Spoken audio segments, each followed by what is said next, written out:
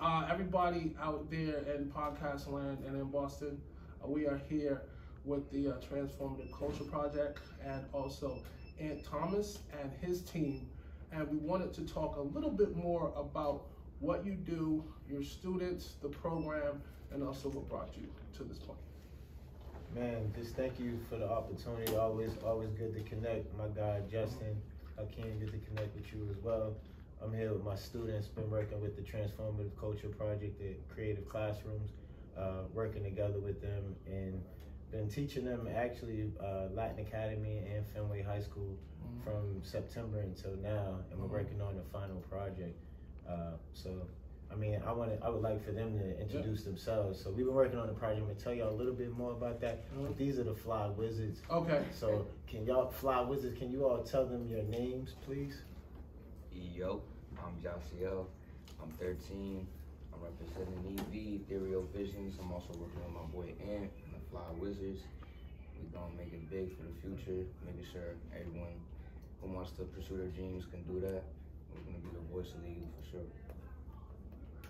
It's Nilly Nils. Um, I'm a singer, songwriter, and poet, and I go to BLA.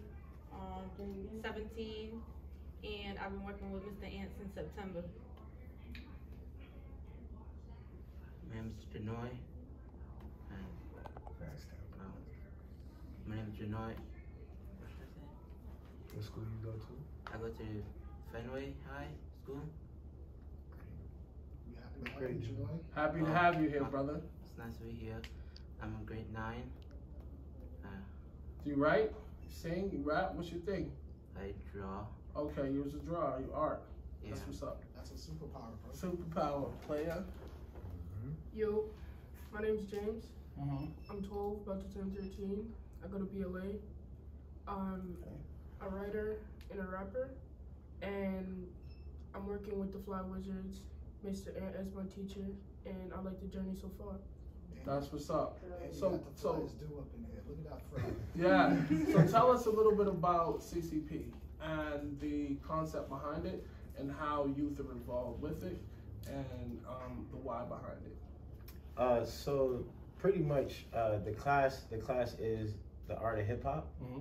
and so TCP reached out to me as an artist in the community and wanting to get more artists in the classroom uh, and getting the, the students also uh, giving the students an opportunity to express themselves creatively in an artistic way. And so we've been covering the art of hip hop since September till now. Mm-hmm. And so like going through pretty much uh, the start of hip hop yeah. right in the beginning.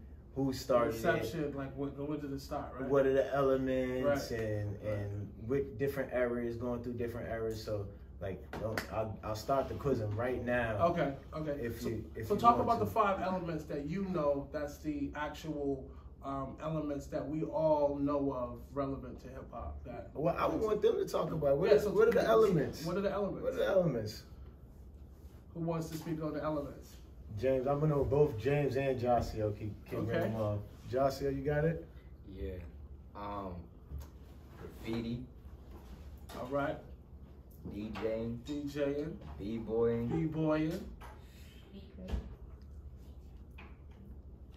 MCing. MCing. okay. okay. Uh, uh, and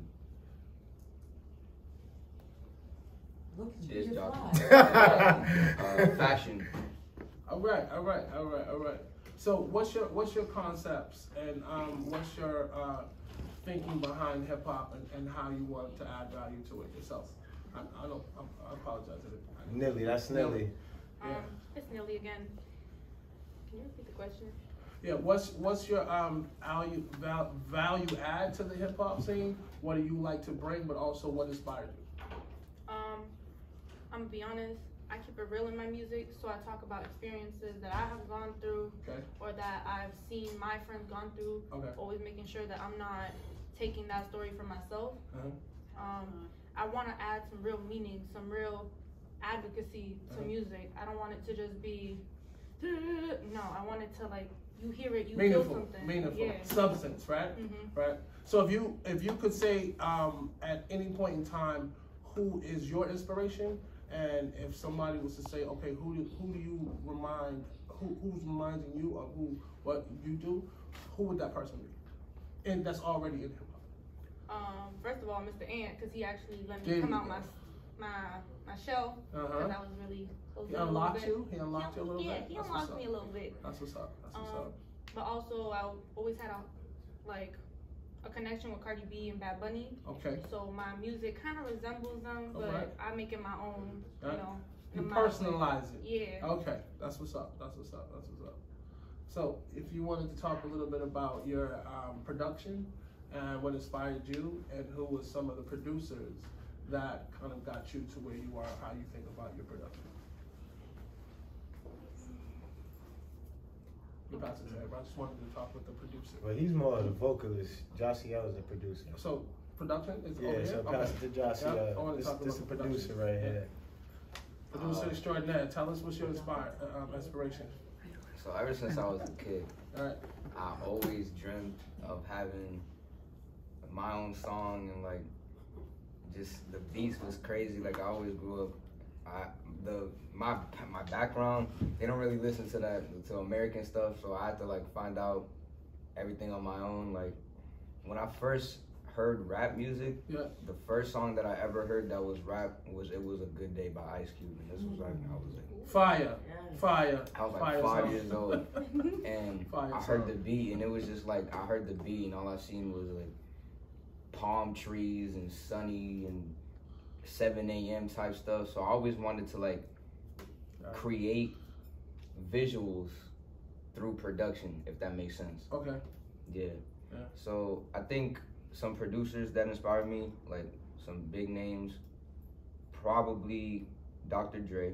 When it comes to like just real rap stuff, I mm-hmm. go to Dr. Dre for my inspiration. When it comes to R&B, people don't really notice, but Michael Jackson actually produced a lot of his own stuff. So Michael Jackson's one of my favorite producers, and he also inspires me a lot. And for modern stuff, when I look for inspiration, I look at Pi'erre Bourne because he mm-hmm. really just he broke the box for trap music. Like, Right. Now this a whole underground scene right now, it was all inspired by Pi'erre Bourne. So those are my three producers that really inspired me. So we're going to talk a little bit about tech in, re- in relation to production. What type of software do you use? Do you use a digital audio workstation? Do you use an on um, do you use an online um, platform for production? Um, what's what's the software that helps you be creative? Hold the, hold the mic up Hold the mic up. Yeah. So I use a I use a DAW. DAW. Yeah. Alright. So learning it was very difficult at first. Yep. But basically what I did to practice was this I just produced mass amounts of trash beats like Trash, right? At the beginning it was trash. Like It was trash, and then you, you slowly got better, right? Yeah, yeah, but- yeah, yeah. I don't want people to think that if you keep making beats that are trash that they're just gonna get better. what I did, Have a bunch what made me better beats. actually, like what made me better was I sent these trash beats to my friends and I'd be like, "Yo, what do you think?" And they just bully me, bro. Like, right. it was terrible, but you gotta see past that and like see that they're actually giving you like real feedback. hmm So I told myself every day I'm gonna make five beats every day, and this was Mhm. during quarantine, so I had all the time on my hands. I was gonna use my time efficiently, so I said every day I'm gonna make five beats, and I'm not gonna sleep until I make those five beats. And then I sent all these five beats every day to my friends, and then they'd give me feedback, and eventually I just Right. became goaded. He's only 13. And you're only 13. All right, let's give it up for being 13 and, and putting yourself under the fire in the microscope, right? So I guess I guess I guess from you saying what you just said, talk to us a little bit about the critiquing and how the critiquing helped you like hone your craft a little bit. So the critique, it all really comes down to being able to take it and really just understand. Like you gotta understand that what they're saying is true. So when I first started off, I had, I had no, I did not know anything about mixing or like you know, just mixing and mastering. I did not know anything about that. So I would send these beats and then the kick would like overcome the EQ and like everything would just be bassy and stuff and you Right. can't even hear the main melody. Like it was just trash. Yeah. So they'd be like, "Yo, you gotta fix this," and then uh, a person that I used to look up to at the time, who's who I've now surpassed, in my opinion. A uh, His little name- cocky. I like that. I like that. His I name like is that. Bluesome, and he's like from the UK. And he he we were in a collective together, and he was just like everyone looked up to him because he was like the amazing producer and singer or whatever. And he would help me. I would ask him for help and stuff. He was a little reluctant because you know he think he that he that dude, but Alright. he'd help me, and I can say that if it wasn't for him, I wouldn't know like those little things that I have to fix when Right. the beats finish and stuff. So Right. I took help from big dudes that I know like are really with that, and I also just took the critique. The critique is very important though. You gotta like really see what's wrong with the beat and go back and fix it. Or what I used to do, I just make a new beat and take all the critique that they gave me and make sure everything was solid with that. Make something new. So Yeah. talk to us a little bit about the album, the concept behind the album, and how many cuts you're gonna actually have on the album itself. Okay, so the album, the way we came up with it, uh, we was just in the classroom. Mr. Ant was like, "All right, we're in the creating stages," and this is the part we've all been waiting for because for the longest time we were just learning about the '80s, the '90s, and the. Like, can we learn about the 2000s? Yeah. no. I was born. yeah, that was, and then I was not really enjoying the writing, but I knew this was gonna happen.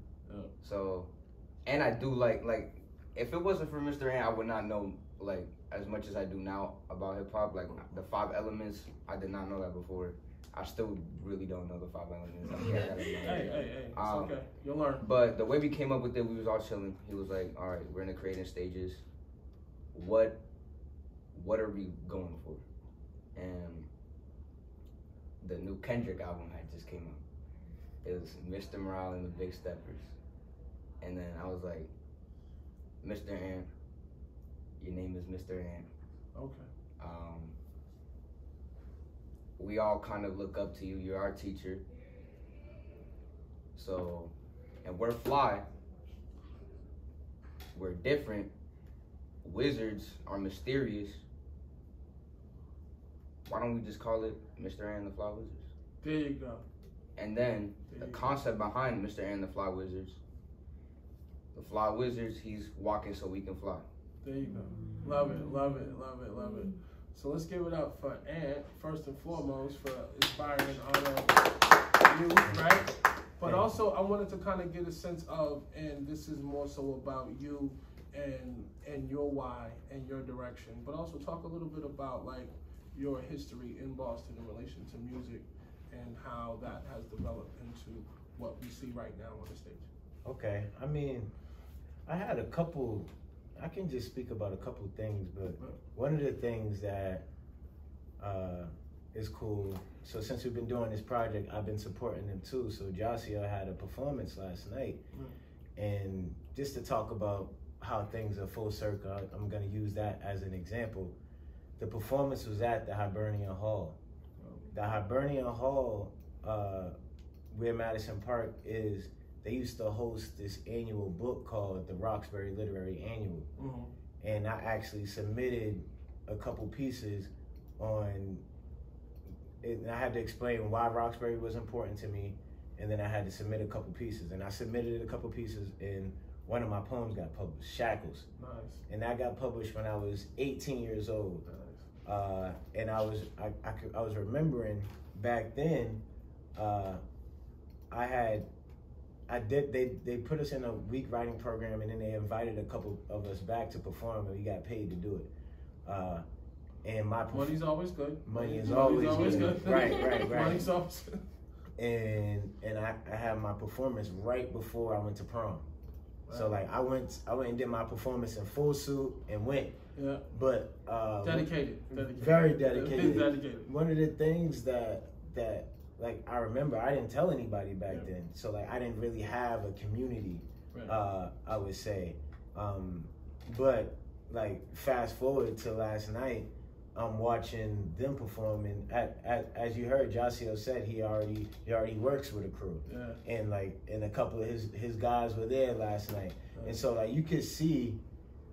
Fast forward however many years, like between like when I graduated high school till now, the community in Boston is developing around music. Yeah, it But. I would say even before that, I also had a performance there with my dad, uh, and that's who I would say mostly introduced me to music. Yeah. My dad is an entertainer. He was a dancer, b boy, um, and he he danced with the Funk Effects. He danced by himself, uh, and he also worked with Marky Mark and the Funky Bunch. Yeah.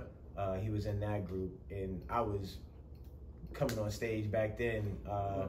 Uh, opening up for them, like getting the crowd hyped and, and music videos. So So talk to me a little bit about, and and, and you just touched on it on a little bit of the surface, but I wanted you to dive a little bit deeper about the importance of passing the baton, right?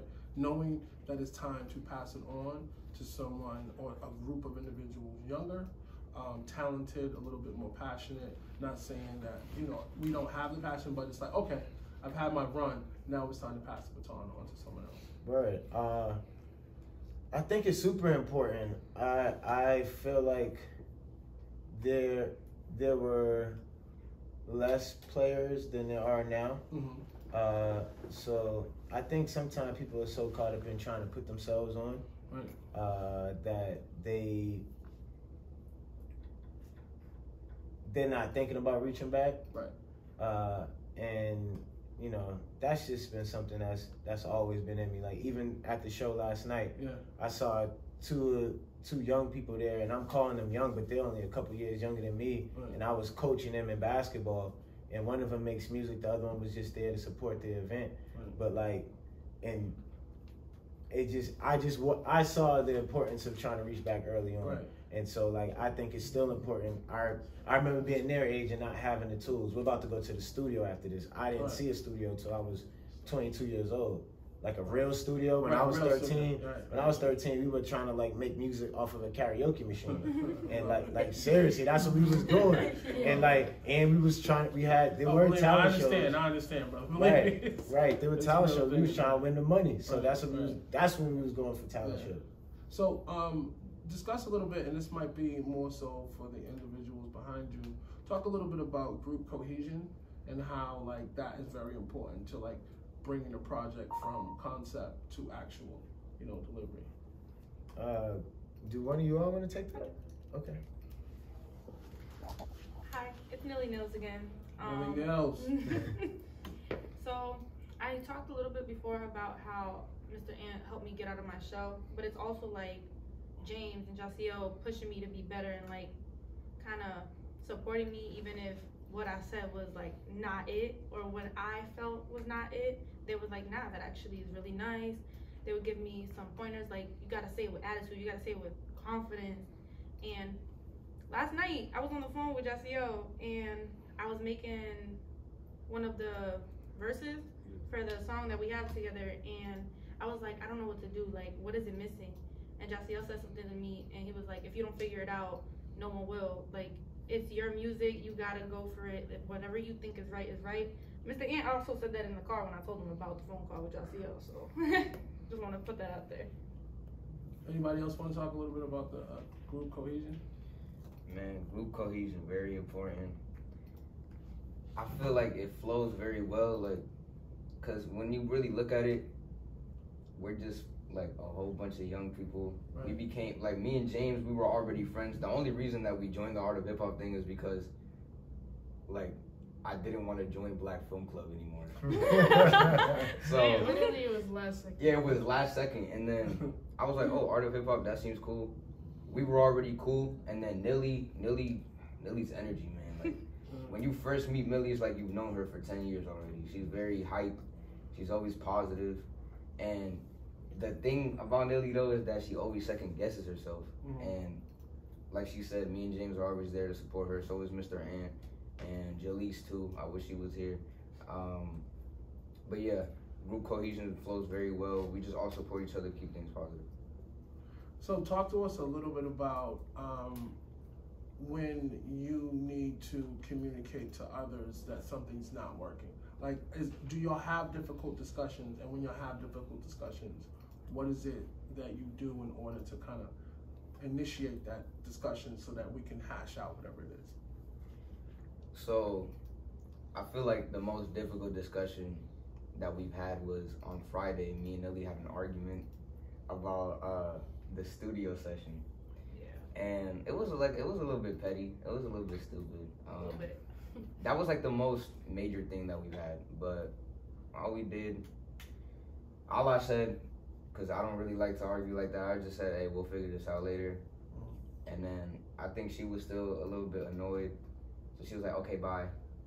But then later, Mr. N was like, "Hey, y'all gotta chill," and then she was like, "Okay, I respect what you're saying," and we hashed it out. And me and James, we'd be going back and forth all the time. we, cause me and James were like brothers, like, and Okay. brothers fight a lot. If Right. you don't fight with your brother, that is not your brother. I'm telling you right now. But the way me and James just hash it out, is not your brother. nah, the way me and James hash it out, we just give each other the space that we need Right. for a bit, you know. And then we come back and we act like nothing happened. Right. So, um, and this is for each one of you all. Talk to the audience a little bit about um, a superpower or a talent that you have and nobody knows about. I'm a I dance like a lot. Okay. That's I started this whole music thing before I started recording and stuff. When I was a little jit, that's what I was doing. I was Little dancing. jit? Okay, Yeah, I don't know what that jit. is. I'm like, what's this Jit. jit? Little, little, little, little, Yeah, little little person. dude, okay, yeah. okay, got you. I was you. dressing up as Michael Jackson and stuff, just Oh, okay. bothering my parents. You got the Michael Jackson fever. That's what's up. dancing. Love it. She's a dancing machine. Oh, there it is, there it is. Oh, baby. Hidden Um, talent, super, superpower. Yeah. it's Nilly Nils again. I'm gonna keep saying it. Nelly Um, Mills. I like the branding. That's All branding. right, off rep, right? And I also dance, but one thing that people don't really know is that, like, I don't really sample. Like, I, there is such thing like as sampling and trying to get your own melody. I make my own melodies and I sing and rap. Like, you guys know this a little bit, but like, if I showed you some of my hidden stuff, yeah. Fire. Mm-hmm. Okay, that's what's up. We love it. We love it. I think another cool thing Nelly does is Nelly is like bilingual with the with the raps With the and rap, the art. okay? Forgot about I would like to drop that in there too. That's too. what's up. That's what's up. Love it. Superpower, hidden talent. Talk, talk to us. I don't really have one. Okay. Um. Do Do you feel like you're gonna hone one in the near future? Hmm? Are you gonna Are you gonna, gonna try to develop one in the near future? Yeah, I'll try. That's what's up. No, I think you're already doing. Didn't you say art? Yeah, he does. He does art. He he. People don't know that he does He art. He does art. So that's his su- that's his his, his thing, right? Yeah, that's his Okay. thing. A That's little his shy on the mic, but we'll we'll we'll peel you back. You That's what, but look, man. that, he expresses himself through visually, through Yeah. visual arts. That's what's up. Superpower. Superpower, don't have hidden talent. You don't always have to fly for it. Superpower. Love it. Yo, it's James. One of my hidden talents that I think I have is all my life I've had a very creative mind. I think outside of the box, other like other like different from other people. And because of that, I like like to express my feelings in different kind of ways because of the fact that in some points they get so complex that there's no normal way to share them out. Mm. It's multi-layered, right? It's multifaceted, and you just can't just take it surface. You have to dive deep into it. Yeah. Yeah, yeah, that's dope. That's dope. So talk to us a little, Mr. Ant. Talk to us a little bit about one of your uh, superpowers or hidden talents. Teaching. I, I would I would say it's well that, that's that's true. you can say that right right right. But I guess we're, I'm here because I'm teaching. Uh, Millie said teaching. I would, but I would say that I would say teaching is is a superpower. Oh, my bad. Yep. I would say that teaching is a superpower, Yes. and I feel like it's my opportunity to pass on the information that I have collected this entire time. Okay. So, and and I've been collecting a whole lot of information, and I would that would I would say that that's my other superpower is Yeah. collecting information. Right. I could go a lot of places that a lot of people can't go Right. and collect that information and give it back and and translate it in a way that people can understand it. Yeah. Make it um, how you say um, palpable for others. you know? Exactly. And um, so, so I guess to wrap up, um, Transformative Culture Project (TCP). What do y'all have plans for in the future, 2022, going into 2023? Uh, well, I would like to keep it to 2022. Uh, we- don't say it. we- we actually- Don't say it. Uh, so we're actually working on Mr. and the Fly Wizards, the EP. Okay. Uh, and we have we're having a showcase, a final showcase in just a couple weeks Okay. on June fifteenth, right here All right. uh, at the Fairmount Innovation Lab. Dope. So uh, that is on June fifteenth from Mhm. five p.m. to seven p.m. Mhm. The event is actually already on my website. It's it's free to come. We're Yeah. asking people to donate if they can. Right. Uh, but you can find that on my website, antthomas.com slash events. And all of that information is already up there. So, uh, everyone, give out your social media handles so individuals know where to find you, uh, follow your work, follow your music, and also follow your brand and what you do. If if you all have social media handles. Uh, they just passed it to me, so um, on all social medias, my handle is Jasiel. That's J A S S I E L six one seven on all social medias. and for streaming platforms such as SoundCloud, Spotify, it is Jasiel in all capitals.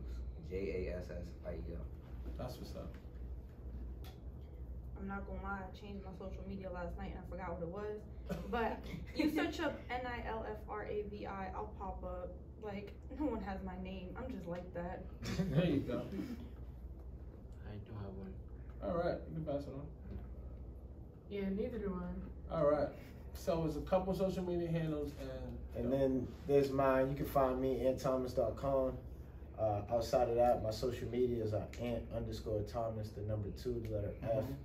Mhm. Uh, Instagram, Twitter. My, uh, I just started. What's what's the other one? TikTok. I just started TikTok. I hope my, my students aren't laughing at me. they weren't. Good, good, good. I just started TikTok. It's Ant Thomas. Uh, O I I M C. All right. So leave the audience with one jewel that you want them to take away from this conversation. the the power the power of young people connecting to to people who have been on the journey for a little bit longer. That's what's up. That's what's up. When we really tap in with each other, I, I feel like there's it's it's both ways. Like Yep. they I'm giving them energy. energy, right? I'm giving them Yeah, energy. and They're giving giving me you energy. Yeah, yeah. So There's reciprocity and the inter, in the interaction. So absolutely, absolutely. Dope, dope, love it. So go ahead, uh, Jewel. Want to leave the audience with? Oh, Um, a jewel I want to leave the audience with is you're never too young or old to start. Yeah. Because 13, 17, we still making music. We still doing what we love. Awesome. One jewel I want to leave the audience with is always be confident. Like when I do these shows, I've done some shows. Um, one thing that I was really scared of is that I'm gonna be judged. But then like you perform, and even if you mess up, they're they're gonna support you. Like they're gonna cheer you on. So always be confident. And if anything's more important in music, I feel like it's stage presence. Yeah. So if you a dude with swag like me, have stage presence, Kind of sure you stage presence, crazy. right? Yeah. Awesome. More awesome. important than music. So, um, coming to you from Fairmount Innovation Lab, uh, at Transformative Culture Project, Face Me Studios, at TCP, we appreciate you all for coming down, um, giving us your energy, your time, and also your wisdom. And we would like to make sure that you are um, coming back and reinvigorating the young minds as things progress. And we thank you, and we want to make sure you get a round of applause to all of you. Right? Right? Awesome, awesome. And on that note, um, you know, we'll wrap up and we uh, want to make sure that you know uh, you're appreciated, loved, well respected, and we look forward to uh, hearing your project in the near future.